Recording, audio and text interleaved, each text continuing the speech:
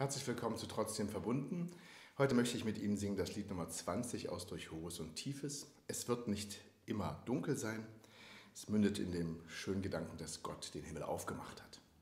Wir sind noch in der Epiphanias- und Weihnachtszeit und ich freue mich, dass Sie mit dabei sind. Lassen Sie uns miteinander beten und singen im Namen des Vaters und des Sohnes und des Heiligen Geistes. Amen. Nummer 20 durch Hohes und Tiefes. Es wird nicht immer dunkel sein, so klingt seit alter Zeit das Wort der Hoffnung heil hinein in Menschentraurigkeit und halten auch die Hirten noch im Finstern. Ängstlich wacht, hat doch Gott schon den Himmel aufgemacht in der Nacht, hat doch Gott schon längst den Himmel aufgemacht. Kann so viel Licht im Dunkel sein und so viel heller Schein.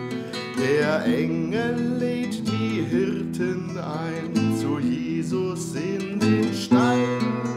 Sie ahnen, während rings der Himmel laut vor Freude lacht, Gott hat sich zu den Menschen aufgemacht in der Nacht. Gott hat sich zu seinen Menschen aufgemacht. Da, wo die tiefsten Schatten sind, lässt Gottes Licht sich sehen. Noch ist es klein, so wie das Kind, vor dem die Hirten stehen.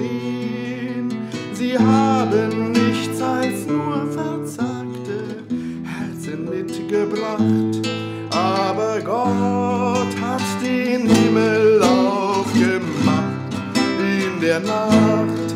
Gott hat heute seinen Himmel aufgemacht. Es wird nicht immer dunkel sein, hat uns das Kind gezeigt.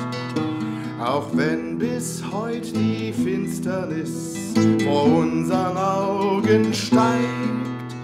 Doch wer das Licht bei Jesus sucht, noch in der tiefsten Nacht, der hat sich schon zum Himmel aufgemacht. Bei der Nacht hat auf Erden schon zum Himmel sich aufgemacht. Guter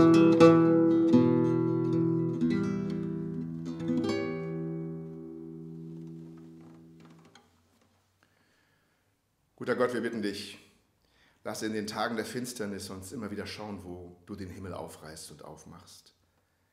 Lass uns erkennen, dass du in der tiefsten Nacht kommst, dass dein Licht in der Dunkelheit leuchtet. Lass es uns ergreifen und selber Licht für diese Welt sein. Amen. So segne und büte euch Gott der Vater, der Sohn und der Heilige Geist.